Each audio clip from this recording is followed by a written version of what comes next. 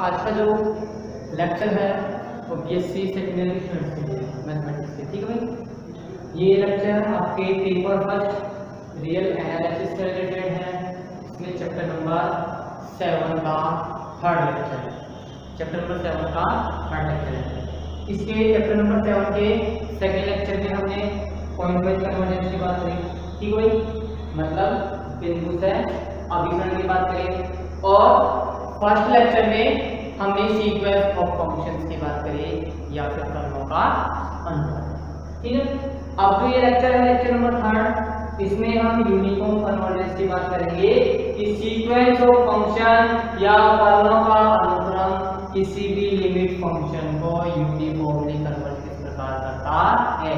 कि क्या क्या कंडीशन होती है कि एफ़ एक्स एफ़ एक्स को यूनिफॉर्म ठीक है भाई? यूनिफॉर्मली कन्वर्ट करता हो। तो इसके लिए सबसे पहले आपको पॉइंट वाइज कन्वर्जेंस के अकॉर्डिंग ही एक सीक्वेंस का फ़ंक्शन डिफाइन करना पड़ेगा। और वो कहाँ से कहाँ करना पड़ेगा? Non empty subset S of R से आर में डिफाइन करना पड़ेगा। ठीक है भाई? आपको एक फ़ंक्शन डिफाइन करना पड़ेगा ईच नेचुरल नंबर के सापेक्ष। और कहाँ से कहाँ? एक डोमेन एस से आर में, जहाँ पर एस क्या होगा? आर का नॉन एम्प्टी सबसेट होगा। ठीक है? आपको फ़ंक्शन डिफाइन करना है, लेकिन किस टाइप में करना है? सीक्वेंस के टाइप में करना है। ठीक है? और ये जो सीक्वेंस ऑफ़ फ़ंक्शन बनेगा, ये क्या कंडीशंस है कि ये sequence of function limit function f को यूनिफॉर्मली कन्वर्ट करेगा? डेफिनेशन दे दी इसकी। फ़र्स्ट ऑफ़ ऑल आप क्या कीजिए? एक नॉन एम्प्टी सबसेट लीजिए एस जो कि किसका सबसेट है? आर का या फिर आर का कोई नॉन एम्प्टी सबसेट लीजिए एस ठीक है? और each small n belong to capital N के लिए। Each small n belong to capital N के लिए आप फ़ंक्शन एफ़ एन डिफाइन कीजिए। कहाँ से कहाँ? एस से आर में। ठीक है फ़ंक्शन डिफाइन करना है आपको? एफ़ एन और कहाँ से कहाँ? एस से आर में। और कैसा फ़ंक्शन डिफाइन करना है आपको? ये जो भी फ़ंक्शन होंगे, ये कैसे फ़ंक्शन होंगे? रियल वैल्यू फ़ंक्शन होंगे। जो भी फ़ंक्शन होंगे, वो रियल वैल्यू फ़ंक्शन होंगे। ठीक है भाई? रियल वैल्यू फ़ंक्शन होंगे आपके पास। तो ये रियल वैल्यू फ़ंक्शन होते क्या है? कोई भी फ़ंक्शन रियल वैल्यू कब कहलाता है जब डोमेन एस को डोमेन आर का क्या हो? सबसेट हो। डोमेन एस को डोमेन आर का क्या हो? सबसेट हो। अब आपने each n belong to N के लिए एफ़ एन या फ़ंक्शन डिफाइन किया एफ़ एन ठीक है? उसके करस्पॉन्डिंग आपको क्या मिल गया? एक सीक्वेंस ऑफ़ फ़ंक्शन मिल गया, या फिर एक फलों का अनुक्रम एफ़ एन मिल गया। ये अनुक्रम यूनिफॉर्मली कन्वर्ट करता है एफ़ ये परमाणु का अनुक्रम एफ़ को यूनिफॉर्मली कन्वर्ट करेगा। कब करेगा? इसके लिए कंडीशन है कि each epsilon greater than zero के लिए। Each epsilon greater than zero के लिए there exist and not belong to there exist and not of epsilon belongs to capital N. Such that such that fnx f x का difference minus f x का difference किससे कम होना चाहिए? Epsilon से कम होना चाहिए। कहने का मतलब है कि ईच एप्सिलॉन के लिए एक एन नोट ऐसा होना चाहिए। ठीक है? ईच एप्सिलॉन के लिए एक एन नोट और एन नोट कैसे ईच एप्सिलॉन ग्रेटर देन 0 के लिए एक नेचुरल नंबर नॉट इस प्रकार से चाहिए कि नॉट के बाद के जितने भी फ़ंक्शंस हैं, उनका इस लिमिट फ़ंक्शंस के साथ डिफरेंस किससे कम होना चाहिए? एप्सिलॉन से कम होना चाहिए। कि नॉट के बाद जितने भी आपके पास फ़ंक्शन आएँगे उनका लिमिट के साथ डिफरेंस किससे कम होना चाहिए? कम होना चाहिए। और किसके लिए? Each n greater than equal to n naught belongs to capital N कि as n greater than equal to n naught belongs to capital N और ये किसके लिए यूनिफॉर्म कन्वर्ट होना चाहिए? ये यूनिफॉर्म कन्वर्ट होना चाहिए। Each x belongs to S के लिए। किसके लिए यूनिफॉर्म कन्वर्ट होना चाहिए? Each small x belongs to capital S के लिए। डोमेन के प्रत्येक एलिमेंट के लिए आपको एक एप्सिलॉन सॉरी डोमेन के प्रत्येक एलिमेंट एस एक्स के लिए और ईच एप्सिलॉन ज़ीरो के लिए। एक एन नॉट ऐसा करना चाहिए कि दोनों का डिफरेंस किससे कम हो मतलब एन नॉट के बाद या तो एन नॉट या एन नॉट के बाद जितने भी टर्म्स आएँगे, उन टर्म्स का एक लिमिट फ़ंक्शन के साथ डिफरेंस किससे कम हो एप्सिलॉन से कम। तब तो फ़ंक्शन कहलाता है सॉरी तब तो सीक्वेंस ऑफ़ फ़ंक्शन कहलाता है यूनिफॉर्म कन्वर्ट अदरवाइज़ ये कहलाता है point wise convert point wise convert का आपने एग्जांपल पढ़ा था। पॉइंट वाइज कन्वर्ट के एग्जांपल के साथ साथ आपने डेफिनेशन में भी देखा था कि कोई भी फ़ंक्शन पॉइंट वाइज कन्वर्ट होता है तो वहाँ पे एक नेचुरल नंबर मिलता है n नॉट वो n नॉट किस किस पे डिपेंड होता है? वो n नॉट डिपेंड होता है x और एप्सिलॉन पे. जब भी यूनिफॉर्म कन्वर्जेंस में ये एन किस पे डिपेंड करता है? ओनली एप्सिलॉन पे डिपेंड करता है। पॉइंट वाइज कन्वर्जेंस में एन फ़ंक्शन होता है x और एप्सिलॉन का दैट मींस एन डिपेंड करता है x और एप्सिलॉन पे कि यूनिफॉर्म कन्वर्जेंस में किसका फ़ंक्शन है? ओनली एप्सिलॉन का तो एन किस पे डिपेंड करेगा? एप्सिलॉन पे और आपको पता है एन नॉट और एप्सिलॉन का मतलब क्या रिलेशन होता है कि n naught epsilon greater than 1 n naught epsilon greater than 1 या फिर n naught greater than 1 upon epsilon ठीक है? या फिर n naught greater than 1 upon epsilon ये यूनिफॉर्म कन्वर्जेंस की डेफिनेशन हो गई। ठीक है? ये किसकी डेफिनेशन हो गई? यूनिफॉर्म कन्वर्जेंस की डेफिनेशन हो गई। अब देखिए, इस डेफिनेशन को लिख लीजिए एक बार। फिर उसके बाद आपकी कुछ नोट्स है। कोई नोट है और कुछ थोड़ा सा आपकी, ठीक है? यूनिफॉर्म कन्वर्जेंस देखिए, माना माना एस का एस का कोई उपसमुच्चय। एस का कोई उपसमुच्चय एल उपसमुच्चय है that means that is not equal to s subset of r that is phi does not equal to s subset of r तथा fn each n belongs to n के लिए तथा fn each n belongs to n के लिए s से r में s से r में एस से आर में एक वास्तविक मान फलन है। एक वास्तविक मान फलों का अनुक्रम, फलन नहीं, फलों का अनुक्रम। क्योंकि आप ई चैन बिलोंग्स एन के लिए कर रहे हैं। जो भी फ़ंक्शन डिफाइन कर रहे हैं, वही चैन बिलोंग्स एन के लिए कर रहा है तो आपको क्या मिलेगा? वास्तविक मान फलों का अनुक्रम। तो तथा f n each n belongs to N के लिए के लिए एस से आर के लिए एस से आर में एक वास्तविक अनुक्रम है। That is f n from H to R that is f n f n from H to R each n capital N each n capital तब वास्तविक मान तब वास्तविक मान फलों का अनुक्रम। वास्तविक मान फलों का अनुक्रम f n x f n x सीमा फलन सीमा फलन एफ़ ओ सीमा फलन एफ़ ओ एक समान अभिसरण होता है। एक समान अभिसरक होता है यदि यदि यदि each x to s each than zero के लिए ज़ीरो के लिए एक प्राकृत संख्या, एक प्राकृत संख्या n naught epsilon belongs to capital N naught epsilon belongs to capital N इस प्रकार होगी।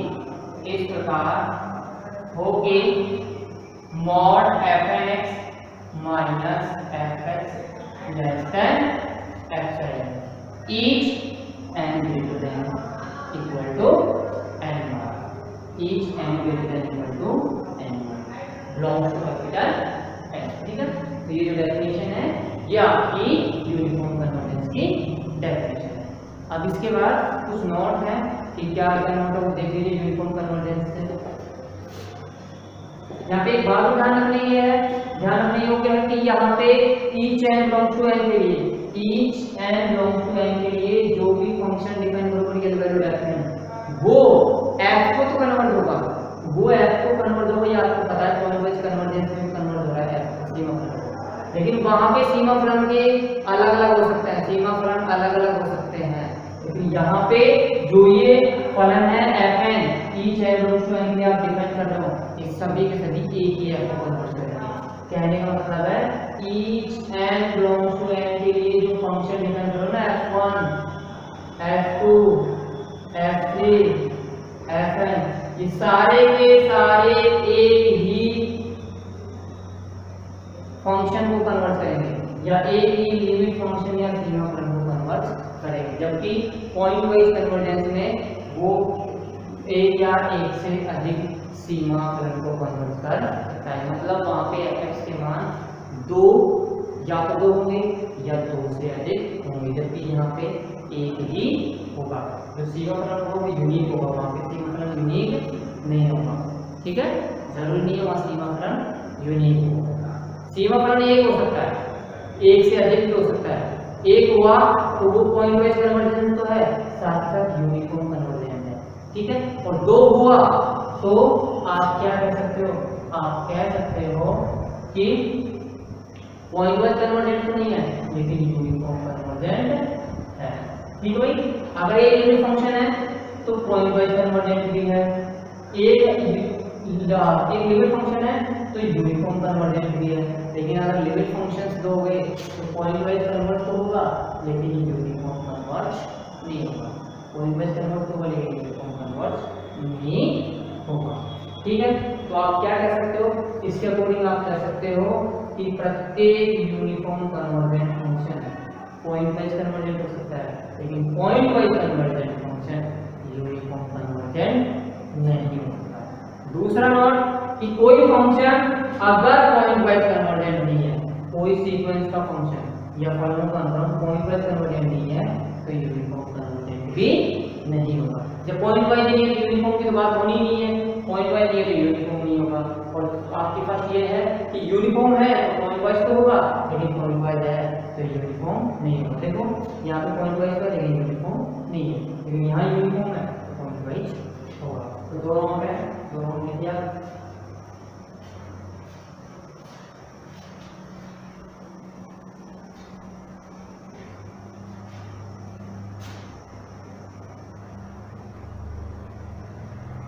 नॉट फ़र्स्ट प्रत्येक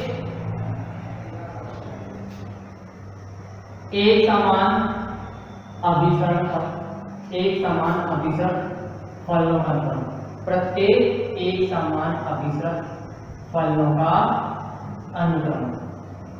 अनुक्रम। बिंदु से अभिसरण होता है। बिंदु से अभिसरण होता है। है भाई? तथा सेकेंड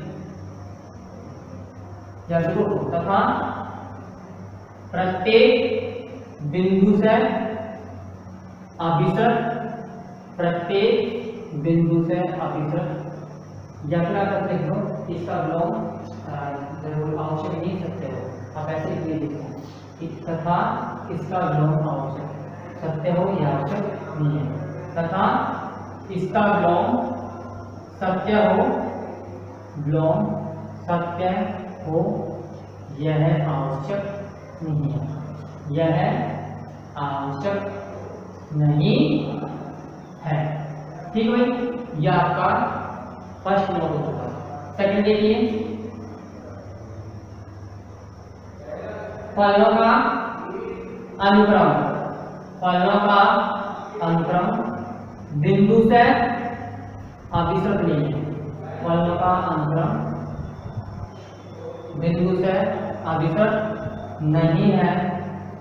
तो तो एक समान अभिसृत भी नहीं होगा तो एक समान अभिसृत भी नहीं होगा।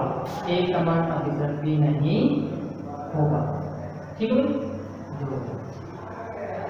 सेकेंड नंबर अब इसके बाद आपकी थोड़ा मैं? छोड़ नहीं है, एग्ज़ाम ठीक है? इसके बाद आपको एग्ज़ाम्पल करो देखिए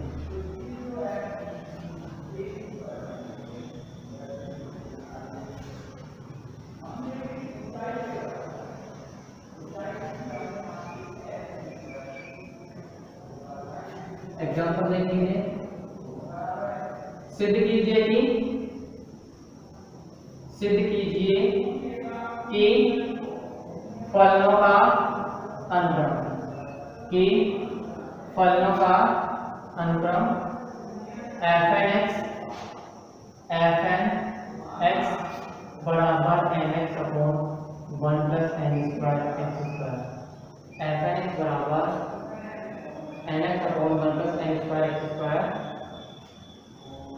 बिंदु से अभिसृत तो है बिंदु से अभिसृत है लेकिन लेकिन एक समान अभिसृत नहीं है। लेकिन एक समान अभिसृत नहीं है। ठीक है एक समान अभिसृत नहीं है। या आपको सिद्ध करना है कि सीक्वेंस का फ़ंक्शन दिया गया है, क्या है? X समान x upon 1 plus n square into x square ये पॉइंट वाइज कन्वर्जेंट तो है? लेकिन यूनिफॉर्म कन्वर्जेंट नहीं है। ये आपको सिद्ध करना है। तो सबसे पहले देखिए दिया गया है? दिया गया है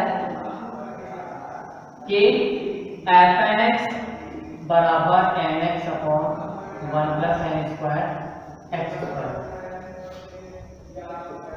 वास्तविक मान फलों का अनुक्रम वास्तविक मान फलों का अनुक्रम है।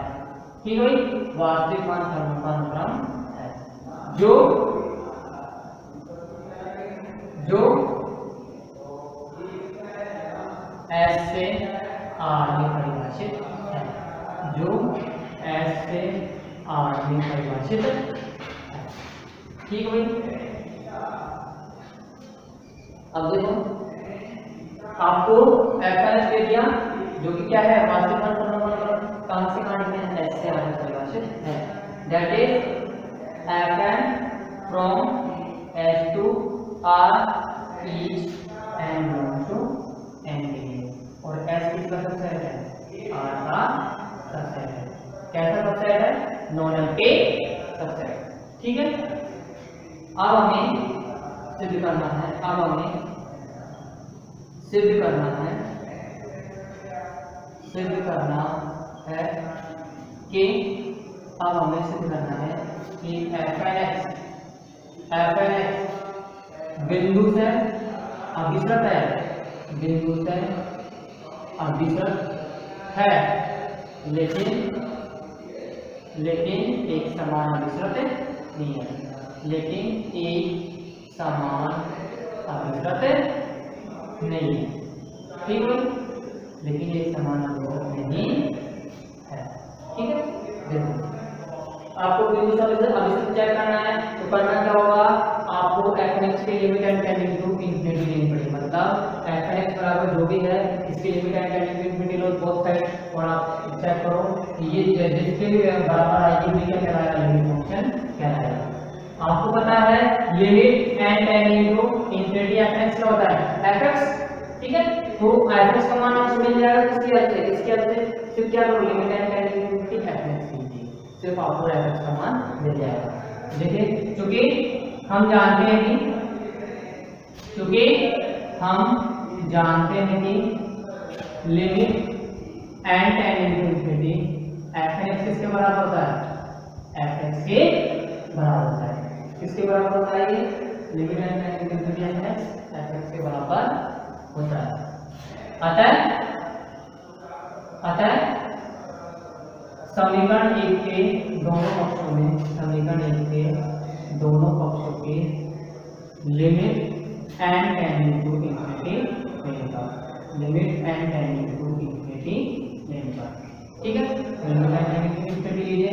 Limit n tend into infinity f n x बराबर limit n tend into infinity n x upon one plus n square इसका मान किसके बराबर है? एफ़ एक्स के बराबर।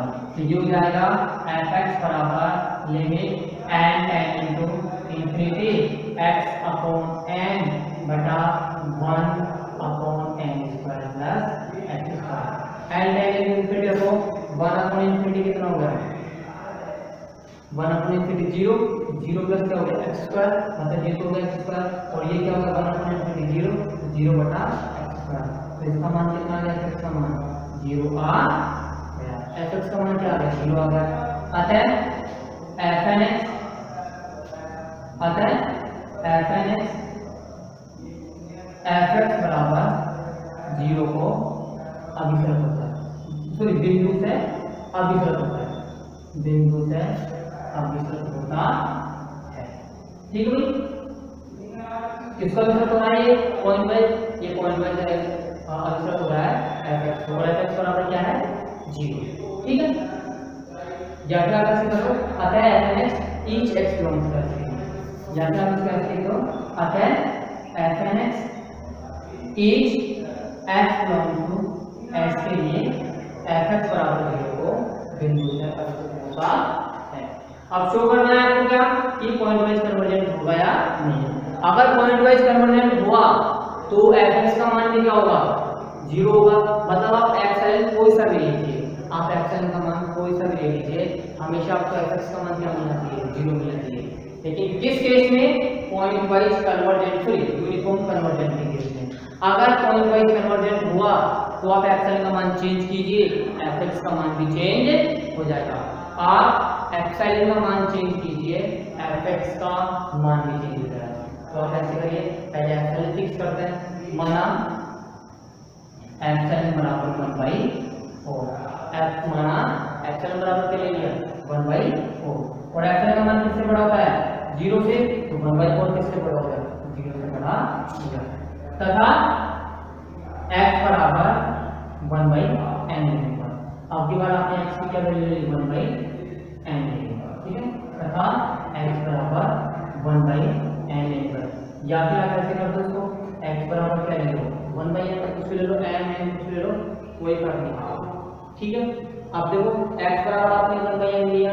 डी एक्स बराबर वन बाई एन अब आप इसकी वैल्यू रिप्लेस कीजिए। इसकी वैल्यू रिप्लेस कीजिए। और एक चीज़ और ध्यान रखना है कि आपको x की वैल्यू वन बाई एन लेनी है। आप n ले लो। यहाँ पे n आ रहा है तो आप ऐसे करो? N ले लो। X की वैल्यू ले ली आपने? वन बाई एन x की वैल्यू वन बाई एन ले ली। एक्चुअल की value value one by four ले ली। दोनों की वैल्यू रिप्लेस करो। किसमें रिप्लेस करनी है?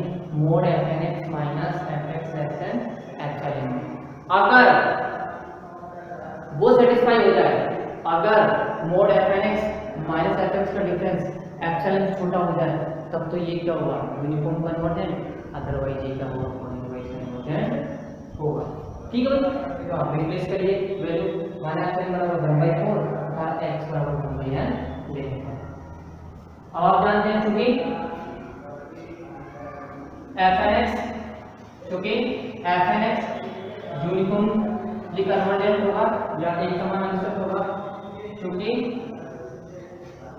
एफ़ एन एक्स एक समान